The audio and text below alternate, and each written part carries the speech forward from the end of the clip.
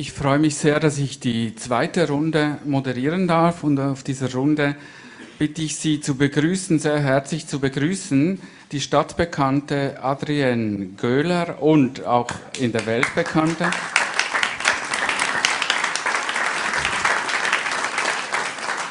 Und ich darf auf die Bühne bitten, die in der Schweiz bekannte, aber weltgewandte Sie war in New York, sie war in Brüssel, lebt jetzt in München. Regula Stempfli.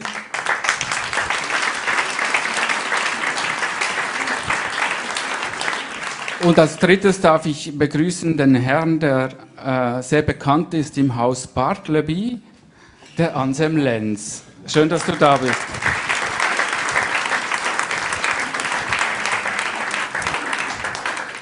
Ich stelle die Uhr auf 30 Minuten. 31.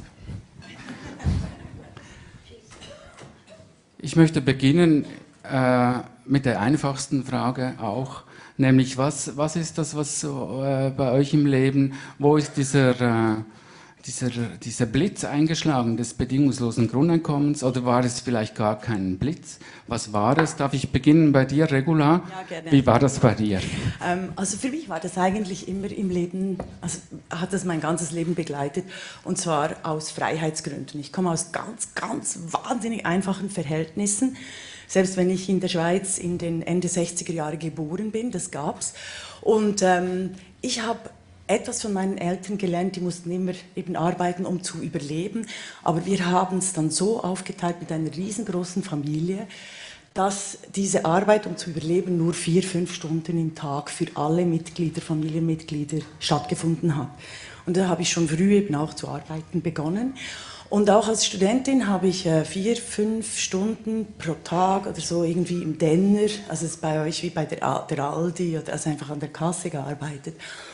Und ähm, das war äh, nicht schlimm für mich, weil ich wusste, ich hatte nachher vier, fünf Stunden Zeit für mich und es konnte mir niemand reinreden. Also ich, ich habe das nie begriffen, wie Leute arbeiten, um ähm, sich viel zu leisten, ähm, sondern ich habe immer gearbeitet, also wegen dem Lohn, äh, damit ich die Freiheit leben kann. Also die notwendig und bedingungsloses Grundeinkommen ist für mich absolut klar. Es ist die Notwendigkeit decken. Also, und jeder Mensch hat eben, das Kapitel ist mein Lieblingskapitel, äh, das gerade gelesen wurde, jeder Mensch hat ein Recht auf die Bedürfnisse, die Notwendigkeiten zu decken und die Freiheit zu leben.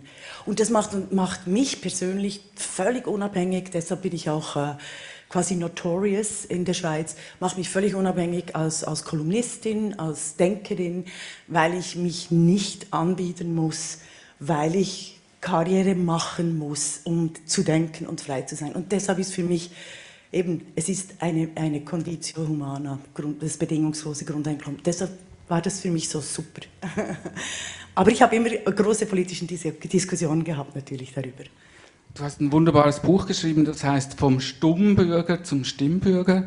Und wenn du jetzt auf das bedingungslose Grundeinkommen schaust, ist das jetzt ein, eine Einlösung auch oder eben auch nochmal eine Weiterentwicklung dieses Demokratiegedankens, den du in diesem Buch gepflanzt hast? Ja. Absolut, absolut. Also wir sind dann alle Stimmbürgerinnen und äh, Stimmbürger.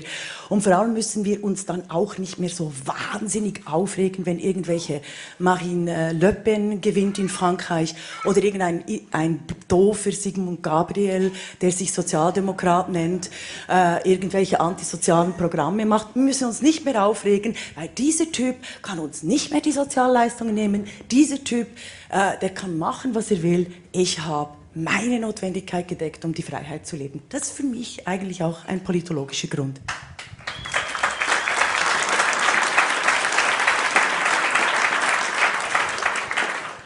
Liebe Adrian, dich habe ich auch über ein Buch kennengelernt, aber nicht das 1000 Euro für alle, das kam ja erst später, sondern das Buch Verflüssigungen. Und da taucht, ich glaube, das wurde rausgegeben 2004 oder 2005, und da taucht der Gedanke des bedingungslosen Grundeinkommens auf. Aber du hast ja unter anderem die Grünen mitbegründet. Wann war das in deiner Biografie, als diese, äh, diese Idee aufgetaucht ist? Meine 87-jährige Mutter behauptet, da wäre ich 22 gewesen, da hätte ich gesagt, die Welt ist so lange nicht gut, wie wir nicht alle 1000 Mark haben. Und sie fand es also sowas von komplett neben der Mütze. Äh, dann habe ich das ein bisschen vergessen. Dann habe ich in der Tat die Grünen mitgegründet und in der ersten, ähm, im ersten Programm stand und dann wollen wir ein Grundeinkommen, ein bedingungsloses Grundeinkommen. Das haben die Grünen wieder vergessen. Ich habe sie nicht deswegen, ich habe sie nicht deswegen verlassen, ich habe sie wegen einem anderen Grund verlassen, aber das wäre spätestens der Grund gewesen, ähm, wegzugehen, dass sie das nicht mehr erinnern. Oder? Und dann habe ich mich eben beschäftigt, also ich habe relativ lange eine, die Kunsthochschule in Hamburg geleitet und festgestellt, es gibt so unglaublich viele kluge Ideen, Gedanken, äh, Konzepte, äh, aber auch die Welt verbessernde äh, neue, es gibt ja auch Design und Architektur in solchen Kunsthochschulen, aber es gibt kein Gegenüber. Und sie haben noch nicht mal das Geld, um irgendeinen Gebrauchsmusterschutz sich anlegen zu lassen, sodass der Kapitalismus immer sagen kann, das, das, das nehmen wir. Ich habe so viele kluge Menschen sehr krank oder auch einfallslos werden sehen. Dass ich gedacht habe, nee, so geht das wirklich gar nicht. Und dann habe ich, nachdem ich ein kleines, also ein Regierungspraktikum in Berlin gemacht habe, ich war kurzzeitig Senatorin für Wissenschaft, Forschung und Kultur, um festzustellen, ähm, es gibt einfach so wahnsinnig gute Dinge im Leben, die man tun könnte, wenn die Menschen das Geld dazu hätten, das zu tun, wenn sie die Freiheit hätten, ihren Ideen nachzugehen. Und dann bin ich nun auch schon seit relativ langer Zeit Feministin und ich kann es ehrlich gesagt schon relativ lange nicht mehr hören, dass wir leider 25 Prozent weniger als die Männer verdienen. Deswegen ist alles so, das summierte sich auf und dann kommt man zum Grundeinkommen. Und die Idee von meinem Buch war, also wenn wir jetzt im 21. Jahrhundert sind, wenn wir in einem Hochpreisland, dem die Arbeit auf der einen Seite immer mehr, mehr und mehr ausgeht, auf der anderen Seite gibt es immer mehr Arbeit, die nicht bezahlt wird.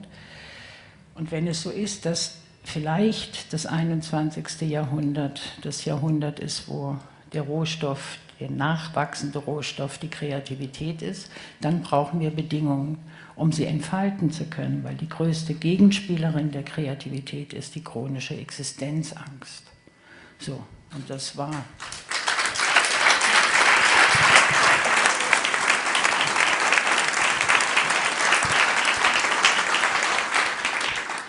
Lieber Anselm, darf ich dir dann das Wort geben? Du bist ja heute eingesprungen für Alex Fassmann, ganz kurzfristig, erst um 4 Uhr, um, um 16 Uhr haben wir telefoniert und du hast äh, dankenswerterweise äh, zugesagt. Magst du etwas erzählen über das Haus Bartleby, vielleicht etwas über die Alix, die auch ein, ein wichtiges Buch geschrieben hat, nämlich Arbeit ist in Klammer nicht Klammer zu unser Leben und zu dir als Person, Anselm, ich lerne dich ja erst heute kennen. Ich darf ähm, Grüße bestellen von Alex, für die ich äh, aus gesundheitlichen Gründen einspringe, mache das auch gern. Ähm, das Haus Bartleby nennt sich Zentrum für Karriereverweigerung. Das haben wir vor einem Jahr und ein paar Monaten gegründet. Also so schnell erntet man aber selten Lacher damit, das freut mich aber. Ähm, vielleicht natürlich beinhaltet das ein gewisses Paradox, denn wir sind alle, oder jetzt nicht die Oberkarrieristinnen und Karrieristen gewesen. Trotzdem hatten wir das eine oder andere erreicht, haben uns dann ab einem gewissen Punkt allesamt, die wir das gegründet haben, entschieden, so jetzt erstmal nicht weiterzumachen. Äh, das heißt nicht, dass wir jede Tätigkeit eingestellt haben. Wir sind keine Arbeitsverweigerinnen, sondern eher ähm, Leute, die aus Berufen wie durchaus auch Arbeiterinnen, aber viele Journalistinnen, Philosophen, ich selber habe als Dramaturg gearbeitet ähm, und jetzt überlegt haben, dass wir da so an der Stelle jetzt nicht weitermachen und jetzt zumindest für eine Zeit etwas äh, grundsätzlich anderes versuchen. Die Frage nach dem Grundeinkommen kommt in Alex Buch durchaus auch vor. Klar ist, das wäre eine, eine abrupte Verbesserung ähm, für viele arme Leute und ist insofern grundsätzlich sehr unterstützenswert. Andererseits ist es natürlich auch eine Sache, äh, mit der man sich dann aus Sicht des Kapitals auch ganz gut freikaufen könnte. Aber gut, wenn man sich so nochmal freikauft und dann Leute äh, Zeit haben, wirklich plausiblere, bessere, ähm, tragfähigere und nicht nationale Modelle zu entwickeln, dann äh, wäre das ja mit Sicherheit eine gute Angelegenheit und diese Ideen würden aufkommen. Ganz grundsätzlich ist die Vorstellung natürlich faszinierend, dass im Moment der Einführung eines äh, verdreifachten Hartz IV zu bedingungslosen Konditionen, ähm, ich nehme an, das dürfte 1.1.2016 auch geschehen, spätestens, ähm, dann natürlich abrupt in der BRD zwei Millionen Arbeitsverwalterinnen und Verwalter arbeitslos werden, und zwar äh, auf BGE. Das ist doch toll. Also diese, diese Blicke möchte ich gern dann sehen. So. Ja. Ja, und mit einem Teil äh, dieses Einkommens, das dann ja, die Gehälter werden dann ja schon etwas geringer ähm, auf BGE, lässt sich ja natürlich schon ein großer Teil dieses Umlageverfahrens refinanzieren. Ähm, darf ich da etwas sagen? Also es ist natürlich nicht ein Umlageverfahren, sondern es geht, ähm, und es geht auch nicht äh, um Menschen arbeitslos zu machen sondern es geht darum, dass das Animal laborans, also dass die Definition dessen, was Menschen sind, ähm, wenn das nur auf die Lohnarbeit oder auf eine Position innerhalb der Gesellschaft, eine künstlich hergestellte Position wie an Lohnarbeit ähm, definiert wird, äh, dass das wegfällt. Ich glaube, das ist einer der wichtigsten Punkte immer wieder im Streit um das bedingungslose Grundeinkommen, vor allem auch mit linken Menschen. Ähm, da geht es nicht nur ums Teilen oder, oder äh, Geben, sondern mit linken Menschen, die genauso sagen, ja, aber also dann hast du Arbeitslosigkeit und die Arbeit ist eine Möglichkeit, um an der Gesellschaft zu partizipieren. Erstens mal wird die Arbeit nicht verschwinden, sondern es werden alle Arbeiten ganz unterschiedlich quasi auch gewertet. Also ich kann dann auch als Müllabfuhrfrau äh, arbeiten ähm, und muss gelte in der Stufe nicht äh, hierarchisch runter. Es geht, es, ich, ich glaube tatsächlich, es ist ein, ein ganz anderes Menschen- und Denkmodell, ähm, äh, das die Arbeit als Wertesystem aushebelt. Also deshalb wollte ich einfach schnell eine, ein, ein Widerstand, obwohl es natürlich lustig ist, aber ähm, da bin ich.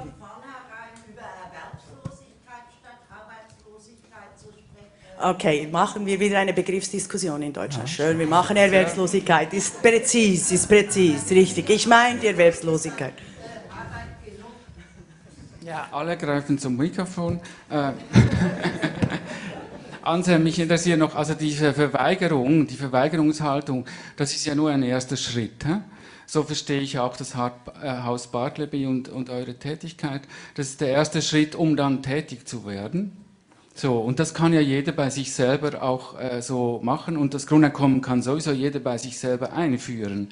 Aber gleichzeitig, wenn man das so sagt, ist das ja ein Hohn. Und Adrian äh, reagiert sofort, weil wir sind hier in Deutschland, wir haben hier politische Verhältnisse. Wie könnte ein möglicher Weg sein, in Deutschland diese politische Idee politisch weiterzubringen? Ich glaube, es ist eine Frage, die, die viele hier im Raum auch teilen und ich würde, Sie, würde diese Frage gerne an euch drei stellen. Anselm, möchtest du beginnen? Wie siehst du einen politischen Weg, die Idee des bedingungslosen Grundeinkommens in Deutschland vorwärts zu bringen?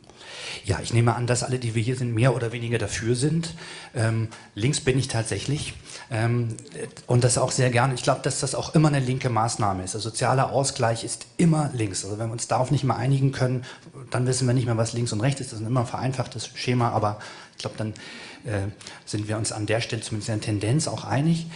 Ähm, ich würde als Strategie vorschlagen, ähm, noch weitaus mehr zu fordern, damit es das, Bedingungs das bedingungslose Grundeinkommen dann auch wirklich gibt.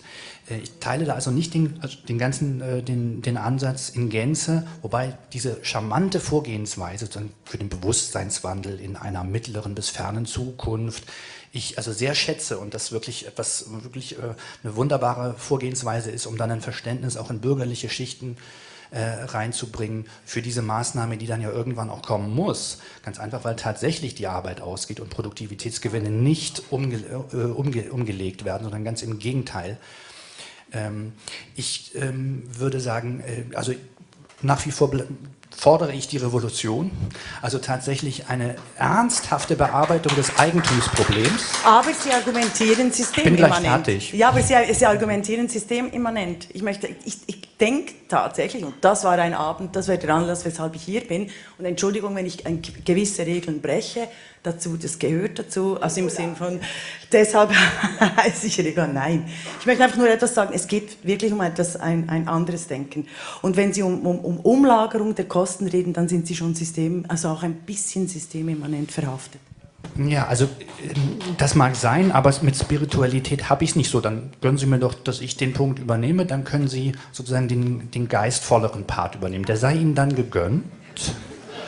Ähm, grundsätzlich ist es ja so, dass das dass es natürlich äh, jetzt kurzfristig wir, äh, äh, ich würde gerne natürlich mit Robert Kurz die Abschaffung des Geldes fordern. Ich glaube, das, das ist ein Punkt, den wir werden, da, so weit werden wir jetzt binnen der drei Wochen, die uns jetzt bis 1.1. noch bleiben, nicht kommen.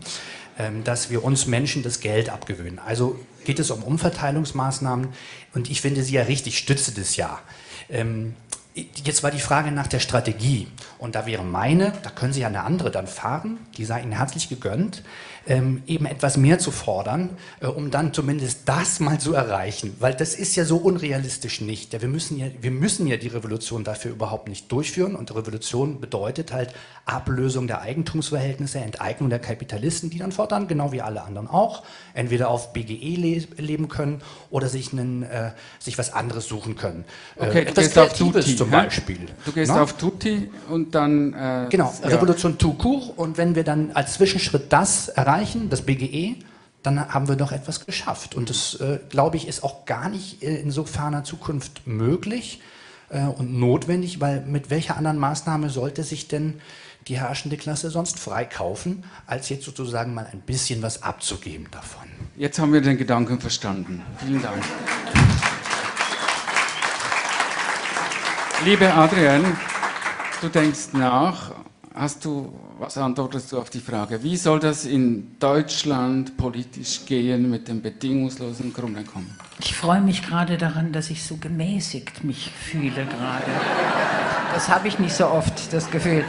Ähm, Den Raum ich gern Also, ich möchte auch weiterhin ähm, mit bedingungslosem Grundeinkommen gegen Menschen wie Sigmar Gabriel und Marine Le Pen und dann gerne auch noch mit ein bisschen mehr Kraft mich einsetzen. Ich kann sie nicht leiden und ich kann die Verhältnisse, die sie sozusagen symbolisieren, nicht leiden. Das Grundeinkommen würde die auch leider gar nicht irgendwie zum Verschwinden bringen, aber ich würde mutmaßen, dass wir mehr Kraft hätten, uns dagegen äh, zur Wehr zu setzen, gegen diese Art von Chauvinismen und Dummverkaufsstrategien. Ähm, ich bin äh, ja deutlich älter ähm, als du, Anselm, und ich habe so lange ähm, mir Gedanken über die Revolution gemacht, dass ich jetzt sozusagen sage, könnten wir es mal mit dem Grundeinkommen probieren, dann könnten wir dann weiter über die Revolution reden. Das wäre eben auch äh, so mein, mein Rhythmus, den ich mir vorstelle.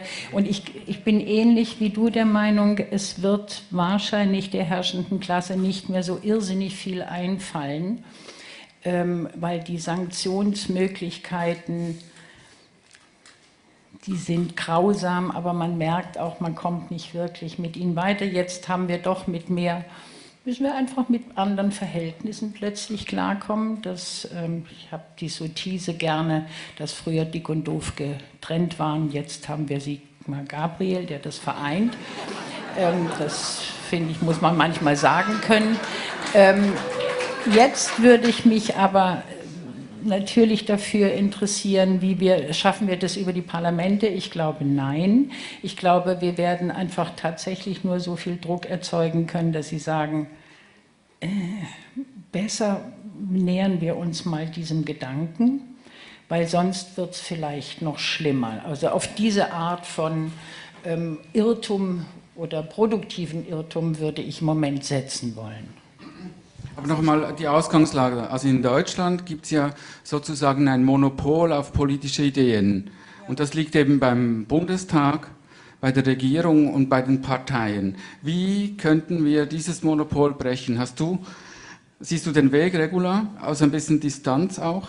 Vielleicht besser, als Ja, immer also über Gabriel zu sprechen? Naja, nee, es geht ja nicht nur, aber es ist ja, wenn die Revolution kann sehr schnell äh, gefordert werden, da würden wir sogar vielleicht hier eine Mehrheit finden. Das Problem an Revolutionen ist sehr oft, dass äh, die Revolutionäre sich dann an die Spitze der Revolution einer Bewegung ähm, äh, stellen und dann äh, uns dem Rest erklären, was die Revolution war. Zurück, äh, wie wir es jetzt auch äh, gesehen haben. Also da bin ich ein bisschen vorsichtig geworden. Was in Deutschland passiert, ist äh, klar, es gibt direkte Initiativen auch auf Bundeslandsebenen. Die finde ich ganz wichtig. Ich finde es wichtig, wenn Sie eine Bürger-Bürgerinnen-Initiative haben, weil das hat das Mittel des Agenda-Settings. Und das ist die Möglichkeit, um äh, die, die schlafende äh, unterdrückende Demokratie in, in Deutschland auch ein bisschen aufzuwühlen. Nämlich, wenn ein Thema in der Öffentlichkeit äh, äh, heftig diskutiert wird, wenn darüber gestritten wird, wenn es äh, als Agenda, auf, als Punkt der Agenda reinkommt, müssen sich sogar die äh, äh, Abgeordneten und die Parteien darum kümmern. Und es braucht gleichzeitig eben einen Widerstand gegen ein Menschenbild, das sich ähm, immer nur von oben nach unten definieren lässt. Und ich finde es schon faszinierend, wie sich das wieder etabliert hat, auch in den Medien. Und dort gilt es ganz stark, äh, Gegengewicht immer wieder zu halten. Und nochmals, für mich ist das, Bedingungsgrund, groß, das bedingungslose Grundeinkommen ähm, äh, in eine, eine, insofern eine ganz wichtige Idee. Es geht natürlich nicht nur um das einzuführen in der Schweiz oder in Deutschland, sondern weltweit. Und das, auch das kann man auf Handelsebene äh, ganz klar durchsetzen. Es gibt keine Fre Freihandelsverträge dann beispielsweise mehr mit Ländern, die kein bedingungsloses Grundeinkommen haben oder immer noch Kinderarbeit und so weiter und so fort. Also die, die, äh, es ist nicht nur eine Idee, es geht darum, die ähm, klar äh, auch zu diskutieren und, und den Druck der Öffentlichkeit von uns Menschen so zu erhöhen. Und das können Sie als Einzelne ziemlich gut.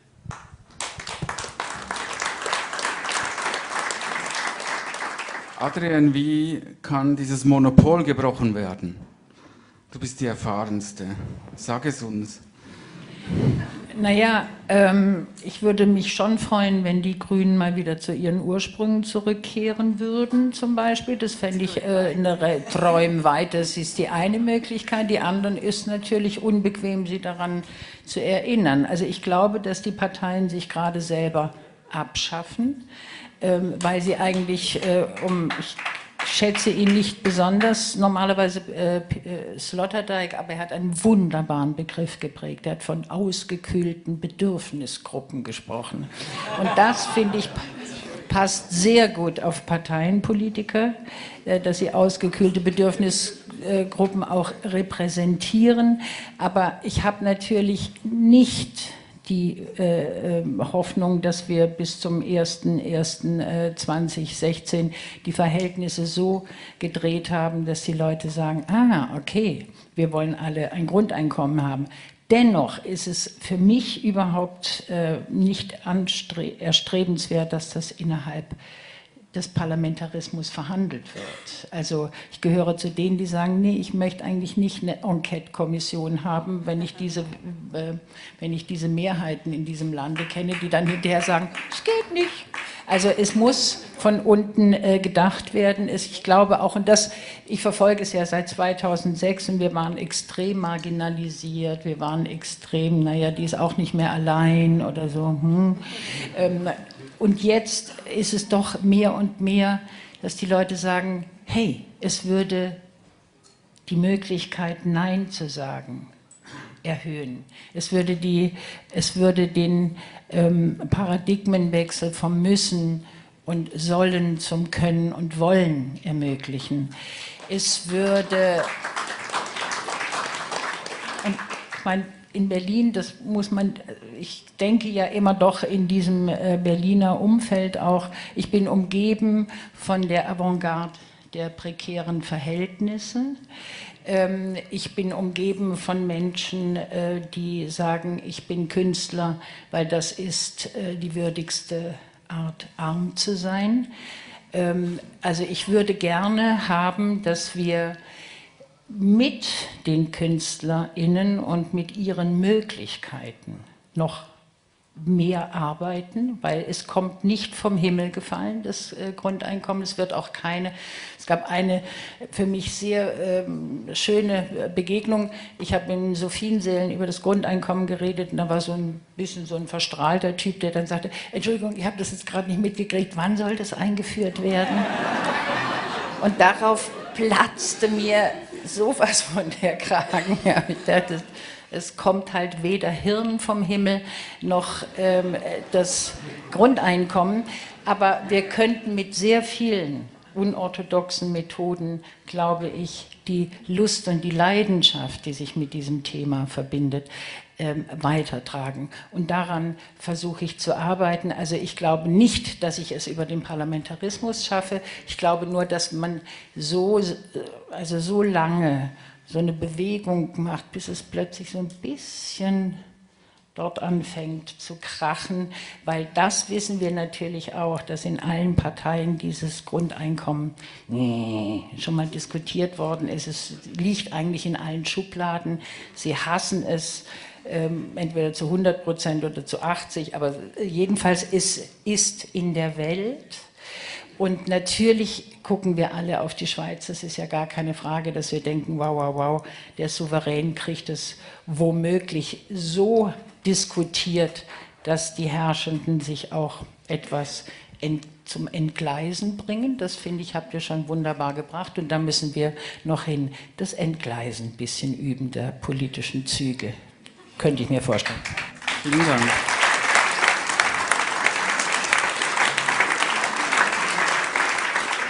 Also wagen wir noch den Blick, Blick in, in, die Schweiz. Da ist ja folgendes sicher unterschiedlich mit Deutschland, dass wenn in Deutschland, wenn jemand was Tolles sagt, dann wird einfach geklatscht.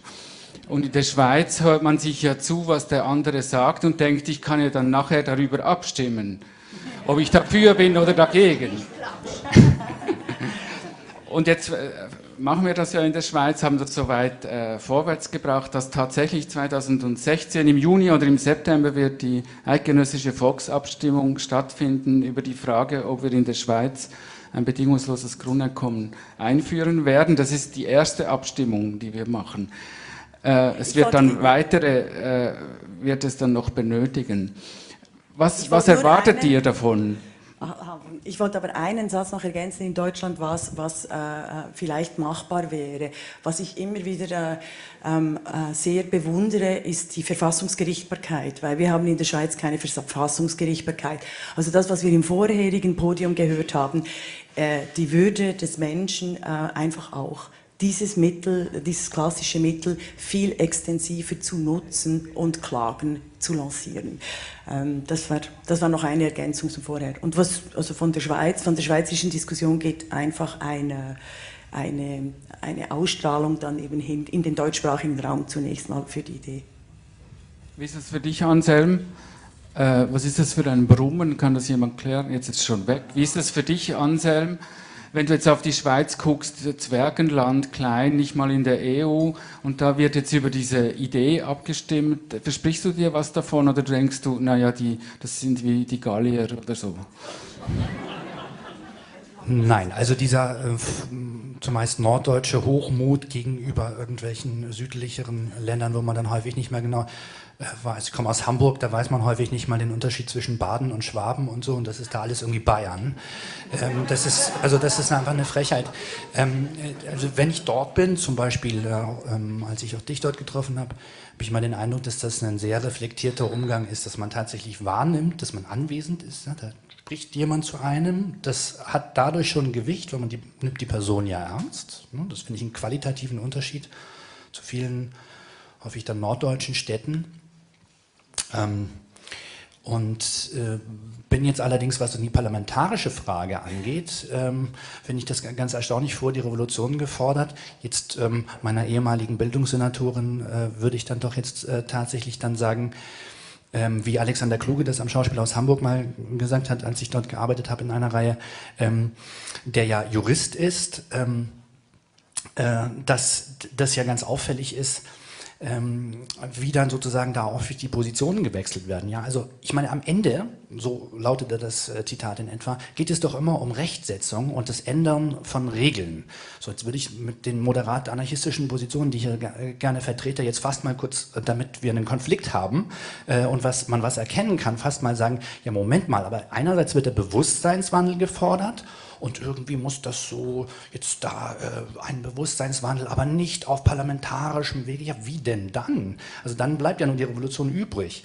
Ich meine, wir haben ja jetzt gesehen, dass mit den Stimmen von äh, sogenannten Sozialdemokraten, Christen und Grünen ein Kriegseinsatz binnen äh, einer Woche durchgepaukt werden kann. Dann schaffen wir doch auch bis 1.1.2016 jetzt noch das Grundeinkommen. Also offenbar können Parlamente ja handeln, wenn sie wollen.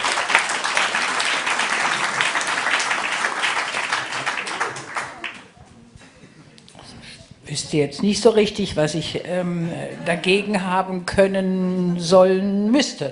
Ähm, ich bin nur vielleicht ein bisschen ähm, nüchterner in, in, meiner Analyse. Andererseits bin ich aber natürlich auch eine, die aus einem Bewegungshintergrund kommt. Also ich äh, komme eben aus Baden und wir haben das... Äh, was der Hamburger natürlich gar nicht versteht. Ich habe 22 Jahre in Hamburg gelebt, deswegen weiß ich, wovon ich spreche.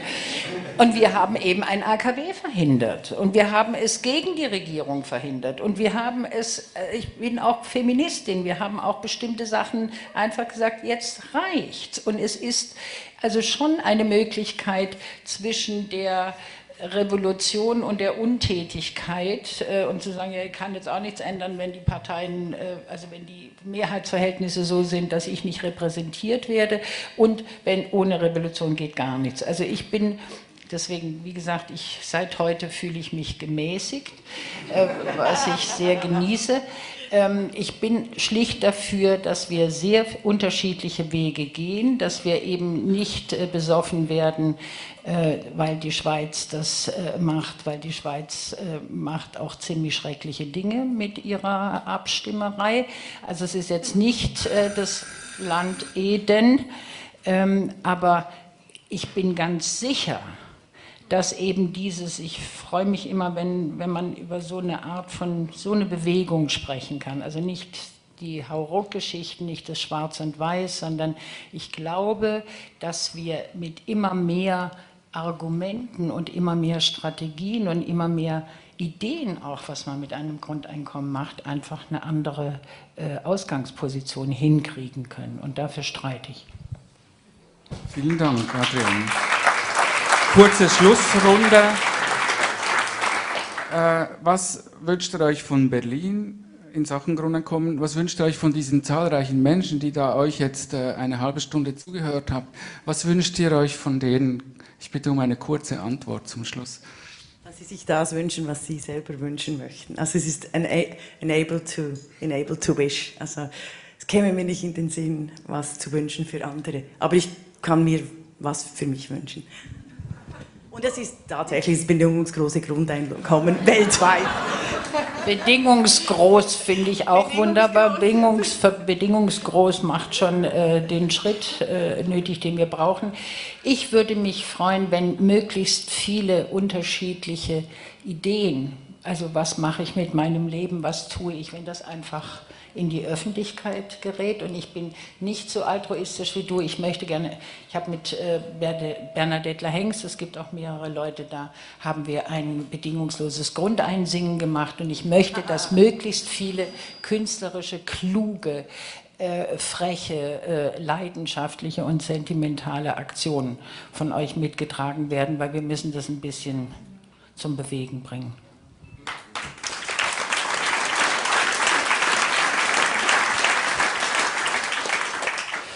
Dann sage ich jetzt mal ganz frech, dass ich die ersten 20 Artikel der äh, bundesrepublikanischen Verfassung sehr schätze, dass aber jede Bewegung am Ende doch rechtsetzend, das heißt regeln ändernd wirken möchte. Wir, wir, müssen die Regeln ändern, darauf läuft es hinaus, ob es nun ein Parlament macht oder eine spirituelle oder sonst wie Bewegung, die eine Regeländerung und Rechtsetzung fordert. Ich würde mir wünschen, dass wir uns das eingestehen und uns nicht immer gegenseitig vorbeten. Wir müssen eine Bewegung gründen. Wir sind schon alle da. Ja, wir sind alle anwesend. Sie, ich, wir, die wir hier sitzen. Wir sind das schon, wenn wir, wenn man so will. Ich mag das Wort nicht so, aber wir sind das schon. Jetzt geht es darum, die Regeln zu ändern. Ich würde mir wünschen, nicht immer nur etwas zu beschwören, sondern es dann auch zu machen.